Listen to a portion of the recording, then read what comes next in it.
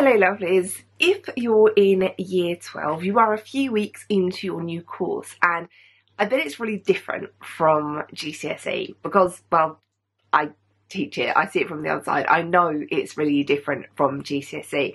So, and I know it's about this time of year that year 12 starts to freak out a little bit. So I'm just here to tell you it's going to be okay everyone's feeling like this, it's going to be okay, and I'm going to go through a few things that are going to make it a bit more okay for you.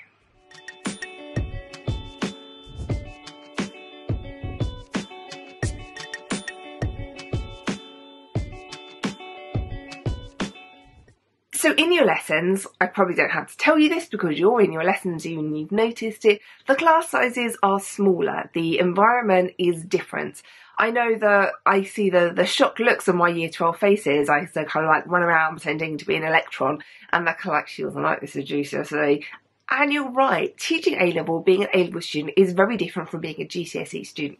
You are expected to be a lot more independent, but there's a lot more fun in the lessons. The lesson sizes are much smaller, so you probably can't sit at the back and hide, um, maybe zone out of a lesson like you potentially used to do at GCSE, and things are moving a lot faster.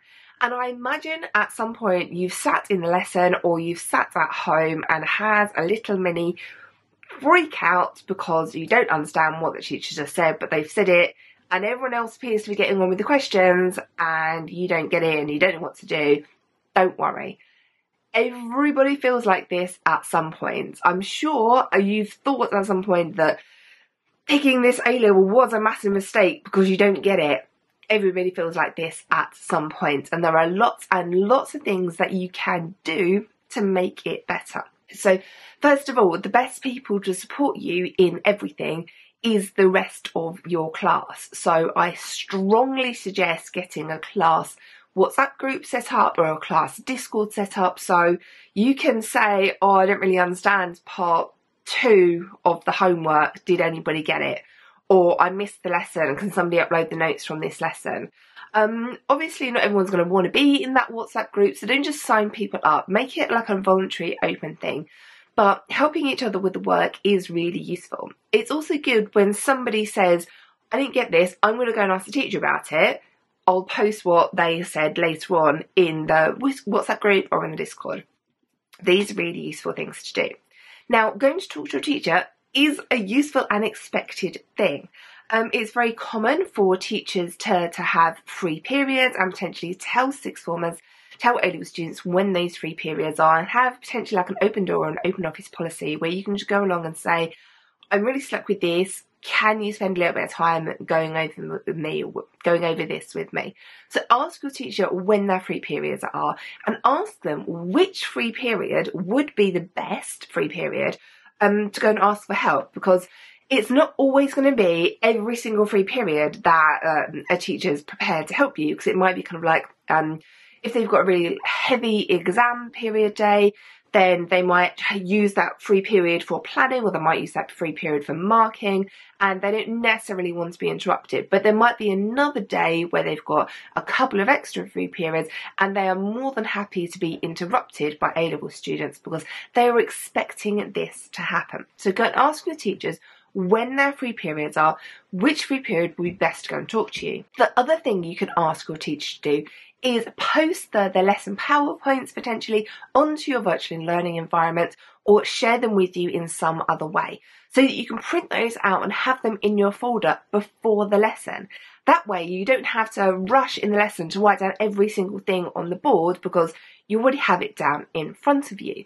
You can then write that up in your independent study, you can write that up as part of your notes the the what we're going to be doing you can add to this with extra examples but the main thing at GCSE, sorry, the main thing at A level isn't remembering everything your teacher said. It's being able to understand it and apply it and answer questions. So if you can spend more time thinking in the lesson as opposed to frantically trying to copy down everything on the board, this is a really good thing for you to do. Now, lots of lessons are much smaller than uh, previously. Um, and what you might want to set up is a cake rota. I know, I know this might be a little bit of a shocker and it isn't going to work with every single lesson. Um, it doesn't always work with chemistry because you've got practicals. It doesn't always work in every single lesson because, you know, period five on a Friday, you do really want to be carrying a cake around for the whole time?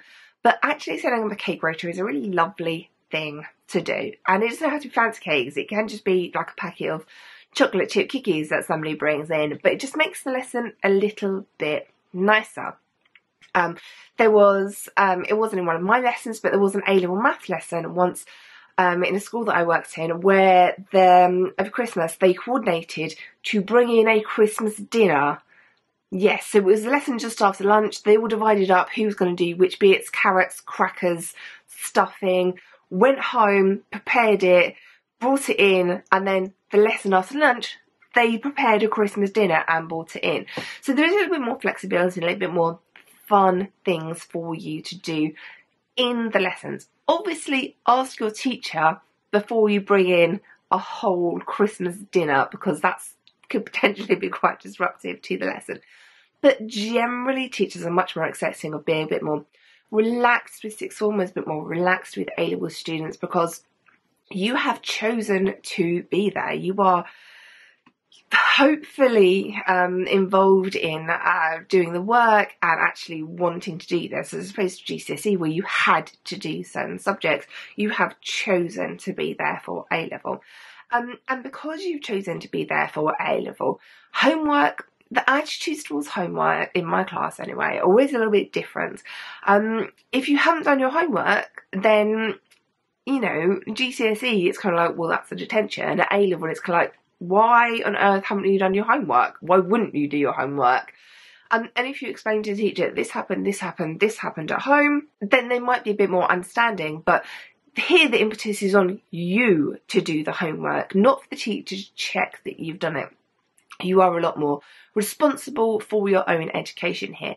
And this can be a little bit of a jump because you were only a GCSE student a couple of months ago and where you had lots of people telling you what to do, when to do it, and there were lots of consequences. And now you're a sixth former, you are expected to be a lot more responsible, but nobody's actually taught you how to be a lot more responsible and it's only been a couple of months since you were a GCSE student. And I know lots of people find that a little bit of a shock. Um, so sixth form is fun guys, A levels are fun. I know if you're freaking out at the moment and you're finding it really, really hard, um, please just try and stick with it if you can. Use your independent study periods to write up the notes, look up things after the lesson. Um, but if you really do genuinely think you've made a mistake, there is still time to change. So please talk to your teachers about any worries or doubts that you're having um, because they are genuinely there to help you. And I am going to be here with you every single step of the way. Ouch!